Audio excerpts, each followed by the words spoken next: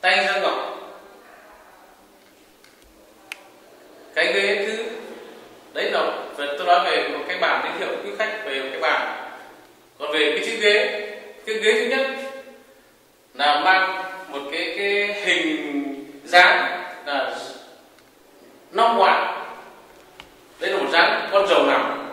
Sau khi một ngày làm việc, sau khi một thời gian chúng ta làm việc mệt mỏi thì đã được nghỉ ngơi tôi gọi là dáng nong ngoạn tức là con rồng nào. đây là cái ghế thứ nhất chiếc ghế thứ nhất. Chiếc ghế thứ hai, mặc dù nó là một chất liệu ngọc am mặc dù nó một dáng gỗ lũa nhưng mà nó vẫn có tên. Đây là một chiếc ghế, tôi gọi là nông phượng, giáo viên. Trong trong chiếc ghế này tôi chỉ thể hiện một chút một chút để cho chúng ta dễ hiểu nó còn nếu chúng ta có tâm hồn về nghệ thuật thì chúng ta nhìn cái ghế này trong vòng suốt rất nhiều tiếng đồng hồ và rất nhiều năm tháng cũng chưa hết được cái vẻ đẹp của nó trong một chiếc ghế mang cái hồn là long phượng chiếc ghế thứ ba là một chiếc ghế, nó có hai cái dáng cây. Đây là tôi gọi là một chiếc ghế tình huynh đệ. Từ cái chỗ nó có hai dáng cây này, chúng ta nhìn thấy là anh và em tôi gọi là một cái ghế tình huynh đệ. Mặc dù là chúng ta nhìn nó sơ, đơn sơ như này, nhưng chúng ta càng nhìn lâu càng ngắm lâu mới thấy cái vẻ đẹp của nó. Và chiếc ghế này hoàn toàn là thiên đạo tức là không có một, tức là không có bàn tay con người đụng đẽo vào chiếc ghế này. Là chiếc ghế này là thiên đạo hoàn toàn, không có bàn bàn tay của con người thì đụng khắc vào đây được gọi là chiếc ghế thiên văn. bạn bè nói rằng đúng là chiếc ghế trời cho. Đó là chiếc ghế thứ ba. Chiếc ghế thứ tư ở đây là nó có tên là phúc trong nhà. Tức là ở đây là con rơi. Tôi có tôi có chặt tắt qua, tóm tắt ở đây một tí một tí chút chúng ta để chúng ta dễ nhìn. Tức là rơi bằng tiền chứ cái này tôi gọi là phúc trong nhà. Và mọi người chúng ta, ai cũng có khát vọng là trong nhà chúng ta phải có phúc. Thì cái ghế này nó mang cái hồn là phúc trong nhà. Mặc dù nó nó đơn sơ như thế này, nhưng mà chúng ta nhìn lâu và nhìn mãi cũng chưa hết được cái vẻ đẹp của nó. Qua một ngày làm việc, chúng ta về ngồi trên cái bộ bàn ghế này, nó xua đi mọi buồn phiền, mệt mỏi. Qua những ngày chúng ta làm việc, đó là cái ghế thứ tư, tôi gọi là chiếc ghế phúc trong nhà kia là một chiếc đôn đơn giản nhưng mà nó cũng đầy tố chất vẻ đẹp của nó. Tất cả những cái vật liệu chất liệu bằng bằng bằng, bằng bộ bàn ghế này gồm 7 tác phẩm. Nhưng mà chất liệu của nó một trăm phần trăm là là gọc am. một trăm phần trăm là chất liệu gọc am. Trong cái chất liệu gọc am này nó có hương thơm quyến rũ mà hương thơm hương thơm của nó nó có tỏa hương thơm mãi là chúng ta được hưởng cái hương thơm của nó và vào những đặc biệt vào những ngày thời gian là trở rời trở rời cái hương thơm của nó mới tỏa thơm ngát nhiều hơn những ngày bình thường.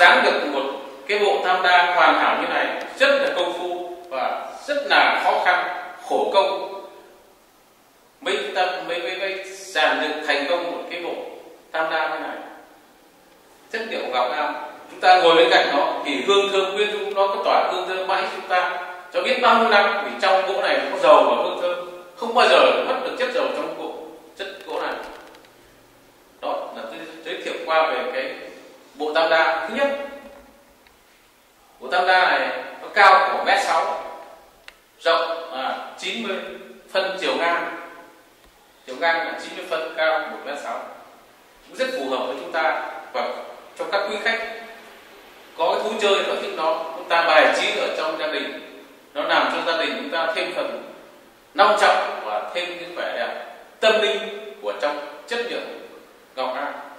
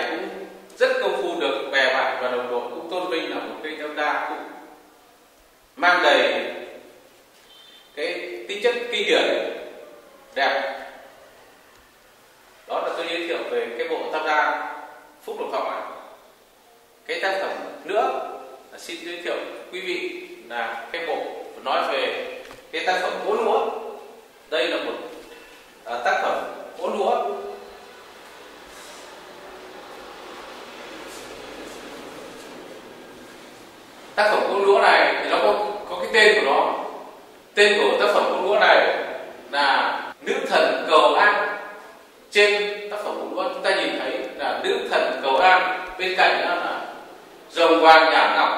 Ở dưới này não ô xanh nó có tên của nó là tên tác phẩm này là nữ thần cầu an, rồng vàng nhã ngọc não ô xanh tại sao tôi lại lại sáng tạo ra một tác phẩm nữ thần cầu an? Thì tất cả quý vị và quý bạn chúng ta phải thấy rõ là ai cũng cần cầu mong một sự bình an ở trong cái đời mình.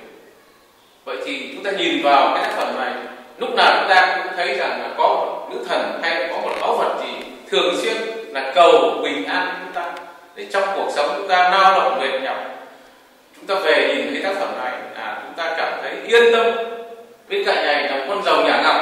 Rồng ở đây nó là một con rồng lũa nó một dáng hình hài con rồng lũa có đầu và có miệng nhà ngọc ở bên dưới này nó có một ông lão. Ông lão này cầm tay cầm một bầu rượu nhỏ thôi nhưng mà gọi não say. Ông lão này say ở đây không là nó mang tiếp là say tình say nghĩa say đời và say công say việc. Gọi là não ông say. Đó là tác phẩm trên một cái cái cái cái, cái tác phẩm cố lúa mà chúng tôi đã thể hiện. Đây để cho quý khách và quý bạn chúng ta ngắm nhìn tác phẩm cố lúa. Đây cũng là chất liệu gọc am một trăm phần trăm. Thường ngày nó có hương thơm, quyến rũ để chúng ta thưởng thức, không những thưởng thức ngắm nhìn những tác phẩm mà chúng ta còn được hưởng cái hương thơm, quyến rũ của chất, của tác phẩm này. Một tác phẩm nữa, đây là tôi có một đôi lục bình. Đôi lục bình này cũng là bằng chất liệu gỗ lúa ngọc ao. nếu chúng ta bày ở trên trí ở trên bàn thờ hoặc là ở khu nào đó, mỗi một lần chúng ta thắp hương lên thì chúng ta thấy cái hương thơm của của của chiếc bình này. Từ nó phát ra cho chúng ta được hưởng cái hương thơm của nó. Và chúng ta cảm nhận được cái tâm linh mà chúng ta khi chúng ta bày cái đôi lục bình này trên bàn thờ, chúng ta cảm nhận được cái chất và cái tâm linh của cái hương dầu này nó cho chúng ta thưởng thức. Đó là đôi độc bình này là một trăm phần trăm bằng bằng gỗ lúa ngọc am xin giới thiệu. À, xin giới thiệu với quý khách.